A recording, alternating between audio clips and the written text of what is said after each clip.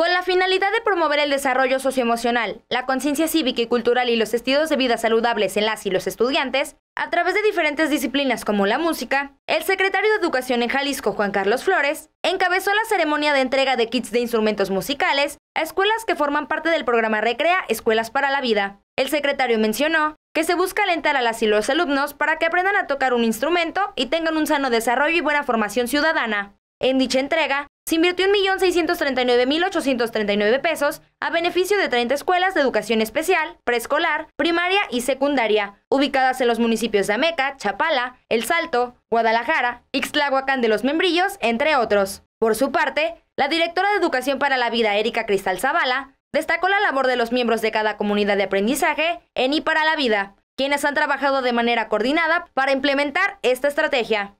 Se espera que en algunos años los niños y jóvenes continúen por el camino de la educación y la cultura. Daniela Gutiérrez, Jalisco TV Noticias.